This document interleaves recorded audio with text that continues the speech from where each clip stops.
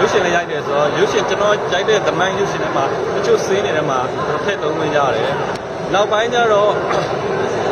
ဟိုကျွန်တော်လည်းဟိုတခြားရုပ်ရှင်လုပ်နေတဲ့အရန်လုပ်များနေဆိုတော့ဒါကိုလည်းမေ့ရလည်းဖြစ်နေနောက်ပိုင်းကျွန်တော်ဒီရုပ်ရှင်ပြတဲ့အချိန်မှာတချို့ဟို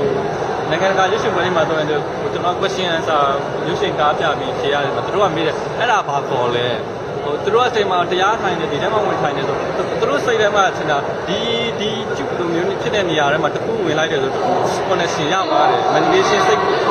သူရပါတယ်လို့သူတို့ခံစားတယ်ပါဆိုတော့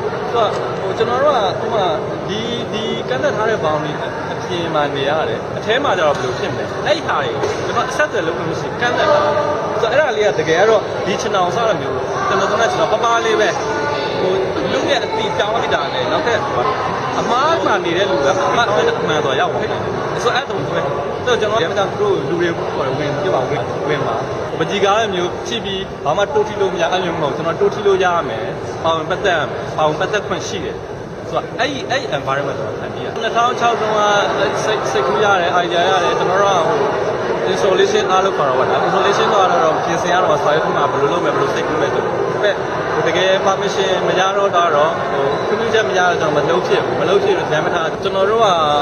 စစ်စိုးအောင်မှာအကြိုင်းနေခဲ့ရတယ်ကျွန်တော်တို့ကသူတို့မှားတာပြမှန်တာပြကျွန်တော်တို့ကပြောပိုင်မှုမရှိဘူးကျွန်တော်တို့ကအဲ့ဒါအဲ့ဒီဟာမျိုးမကြိုက် society ဆိုတာ internet ဖြစ်နေရ participate ဖြစ်နေရမယ်ကောင်းတာဖြစ်ဆိုတာဖြစ်အတန်တွေကထွက်နေရမယ်ဒါဒါက democracy သဘောပဲ